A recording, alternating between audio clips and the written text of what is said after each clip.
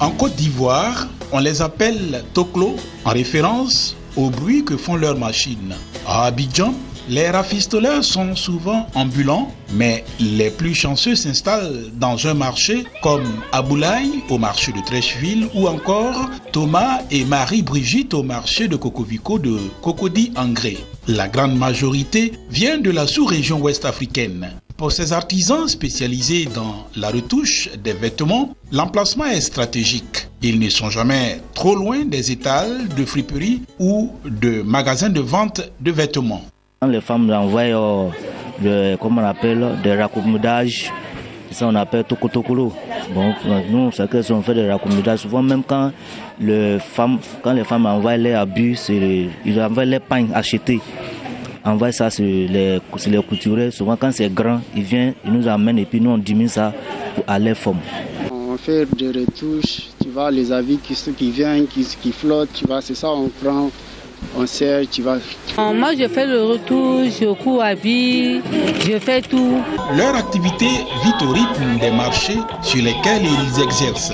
Ils sont les premiers sur les lieux et ne partent que quand le marché est fermé. Même si l'appellation de Toklo a au sein de la population un sens péjoratif, car on considère à tort ceux qui les exercent comme des couturiers de seconde main, le métier de rafistolage nourrit son homme, il est même très rentable. Bon, avoir au moins 7 000 francs comme ça, à 6, à 7 000 francs. il peut avoir ça au moins par jour. Mais ça dépend souvent aussi, on vient s'asseoir à la dernière minute, bon, on peut aller au moins 5 000 francs.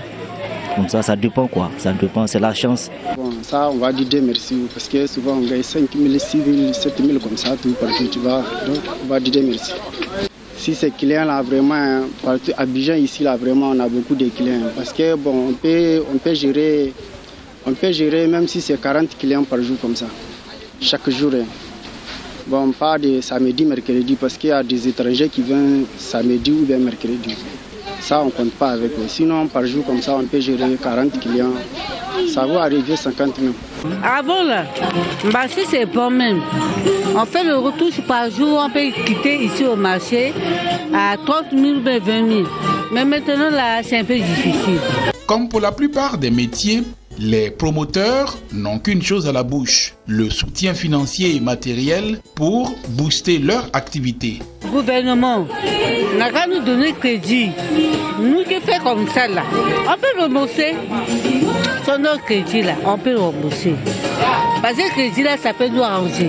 Parce que s'il y a crédit, là, on ne peut pas laisser dans le couloir, on doit laisser dans le magasin aussi. Il est difficile de connaître le nombre exact des rafistoleurs exerçant dans le district d'Abidjan.